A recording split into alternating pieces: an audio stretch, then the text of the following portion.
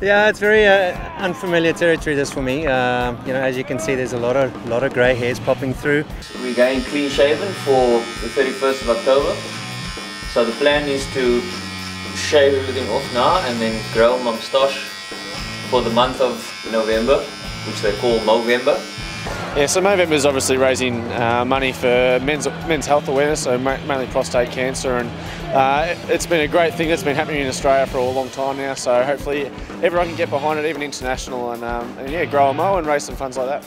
It's great that there's a couple of the South African guys are getting behind it and, and really starting to support such a worthy cause. And a lot of times guys walk out there obviously not even knowing that they've got prostate cancer, and uh, yeah, I think you know, for us to raise awareness around it, you know, it's obviously good. I think I'm gonna just go the normal moustache. Um, I was thinking about some handlebars, but um, I might look a bit corny, so I think I'll just stick with the moustache. I'll probably just brush it for him in the morning with a little brush, maybe put a little gel in because he's, he's got curly hair, so I think just keep it straight and neat.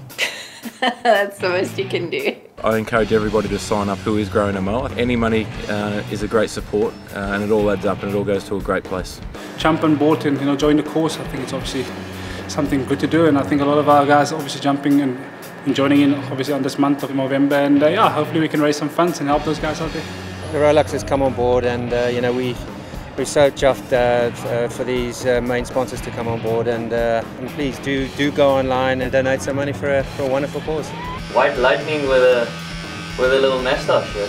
Might uh, might seem look a little bit younger back in the 80s, so should be good.